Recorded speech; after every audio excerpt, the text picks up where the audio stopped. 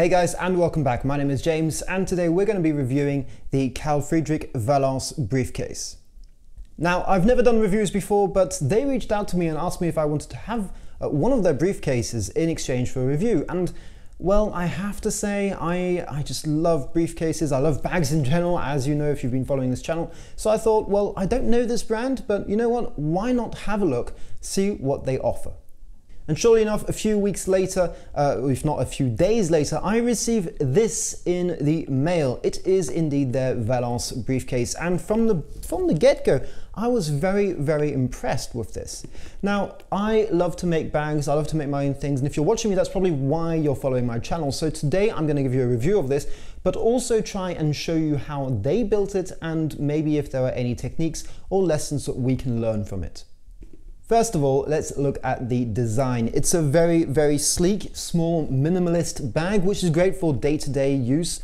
I did use it myself over the course of these last few weeks uh, for some very important meetings, and indeed it was used just like that for a small tablet, a small computer.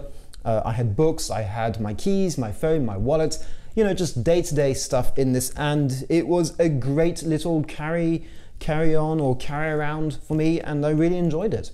Looking more closely, you do see it is indeed some really nice vegetable tanned vachetta or vachetta leather, which is cow leather. It comes from Italy and you definitely can see the quality straight away of this leather. One thing I absolutely love is seeing the marks in the leather from the cow. Now, these will not deter from the quality of the bag. It's just something that's built into the leather, sort of. Uh, just shows that it is indeed top grain leather and it, it just looks gorgeous. And this is one of the things that will age even better with time. This kind of leather, if you take care of it, will take care of you. Um, it may sound cheesy, but that is actually quite true in my, uh, the way I see it.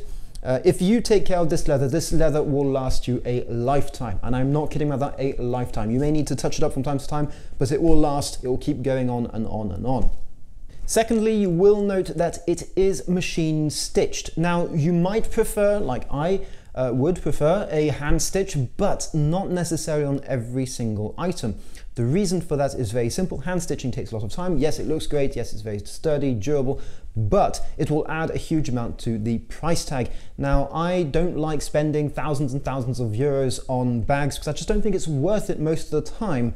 Um, which is why in this case they went for a machine stitch. We'll touch a bit more about the pricing later, but that was just a small thing to note while we're looking at the overall design.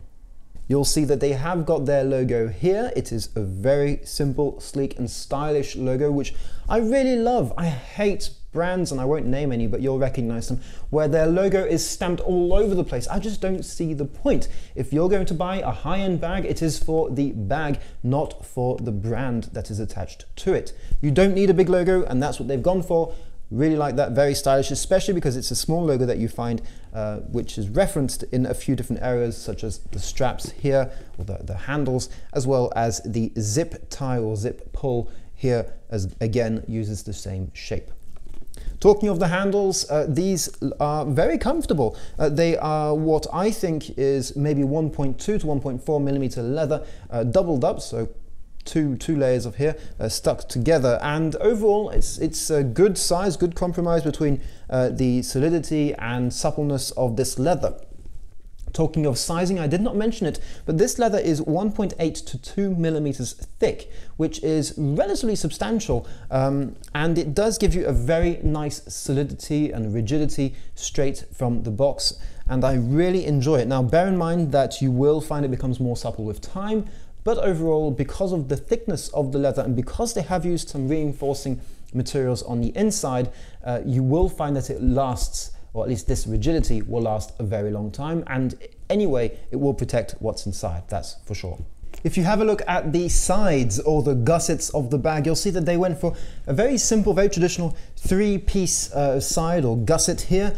which are all stitched in the bottom corners basically, with a very nice, neat looking method of construction. I will note that they have used some edge dye or edge coating here uh, on the bottom and instead of the burnishing, the gorgeous burnishing that you see all around the bag by the way, which I did not talk about, but it's there and it's, it's, it's, it's sleek, it's nice.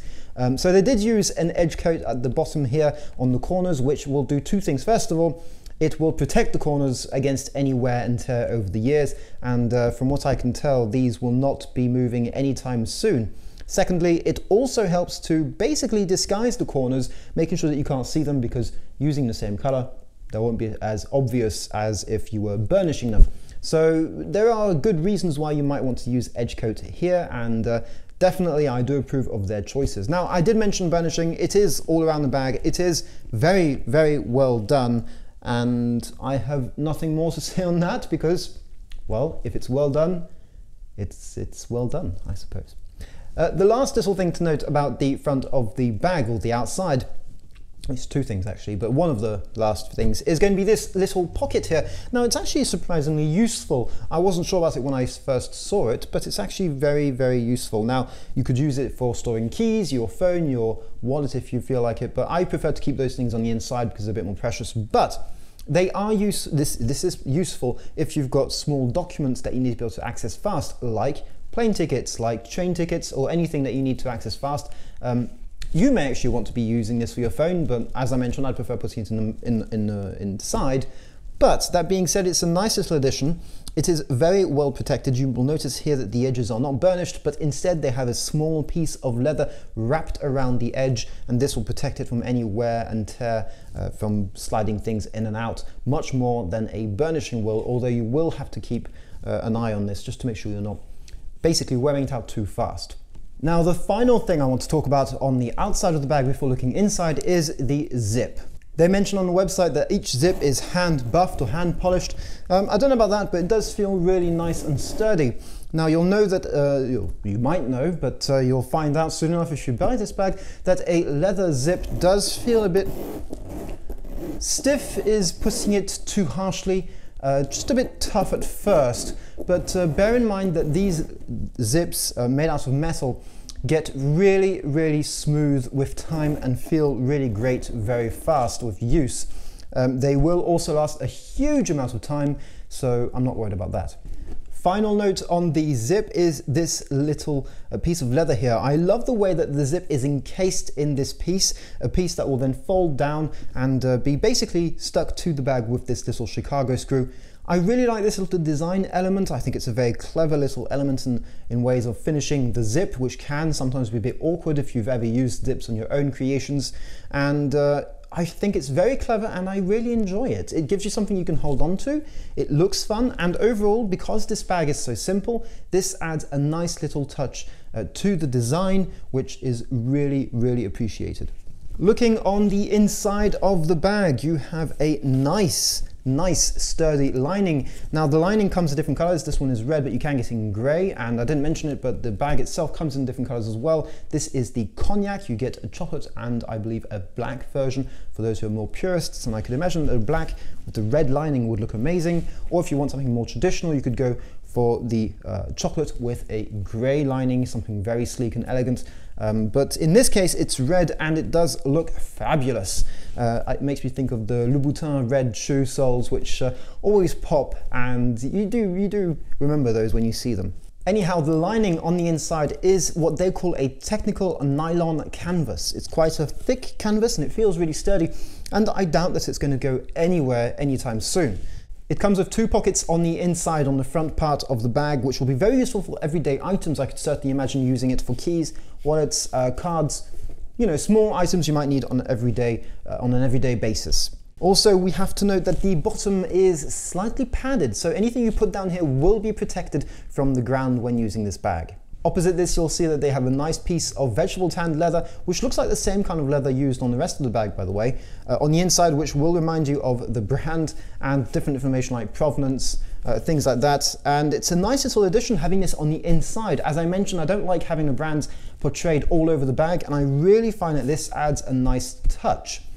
If there is only one point that I would say that could be improved upon this bag is that while you're adding this little piece of leather, instead of riveting it in, which does look very sleek and elegant, why not sew it in order to use this as an extra pocket? That would be my only little criticism, if indeed it can be called a criticism versus an improvement suggestion your choice. But hey, I would have liked to see this become a pocket instead of just a, a, small écusson, as the French would say, stamped on the on the inside of the bag. But it's a nice addition, It looks good, it does remind you of where this bag comes from, and it is very stylishly done. The final element is going to be the computer compartment here. Now, bear in mind it is padded from the rest of the bag. So if you've got big bulky things in the bag, uh, this will be protected against it. Not on the back though, but uh, you know, you've got some thick leather here on the back. It's not something that's going to be bashed around too much. It does fit a very comfortable A4 notepad in here as well as most computers. So that will give you an idea if your computer fits or not in here. Again, this separation is a classic, classic thing to see on the inside of bags. And yeah, overall, it's got basically everything I might need for a daily commute bag. Finally, we're going to talk about the pricing. Today, this bag is just over 300 euros. Now, some of you might think that, whoa, that's a lot of money to spend on a bag. And some of you might think, well, that's actually not too bad considering all the, the, the specs of this bag. You may be used to buying bags very cheap, um, but if you're going to be buying a higher end bag, or at least a good leather briefcase, this is, to be honest, a very fair price to pay. This bag I mentioned previously is something that is going to last you decades, if not a lifetime if you take care of it. And for that price, you are getting an exceptionally premium quality product. Bear in mind that most of these bags or bags similar to this will be at least double, if not triple in price if you go to a regular retail store. And this brings me on to the second point. For those of you who might be thinking, wow, that's actually quite good bargain for a bag this quality. There must be something weird about it. Well, no. Two points here. First of all, it is machine stitch, which means you are winning a lot or gaining or losing a lot of the price tag, I'd have to say uh, just by machine stitching it versus hand stitching. And secondly, Carl Friedrik have decided to go only via their own website. So there is no middleman, there is no other company adding in a 30% or 40% commission. You don't have to add in any types of hidden fees here. Uh, by going straight onto their website, you are getting the best deal possible. This is something we're seeing a lot happen with new startups which prefer to sell direct to customer instead of going via a third party. And this will help reduce once more the pricing on this. That's it guys, I think we've talked about basically everything there is to say about this bag. Again, if you're interested, the link will be in the description below. There is a 15% coupon for you to use in the next 30 days after this video has been published. So if you're thinking about picking this bag up or any other Carl Friedrik item, feel free to go and check that out in the description below. I know this is not the usual type of content that I have on my channel and I'd love to hear your feedback on this. Uh, this is a new experiment for me, I've never done reviews on this channel before and I'd love to know what you thought about this video and what you think of this bag. Is this something that you'd be interested in? And yeah, I hope to see a lot of you guys in the comments below. In the meantime, thanks again for watching. Thanks Carl Friedrik for sending me this and I'll see you very soon for some more Leathercraft.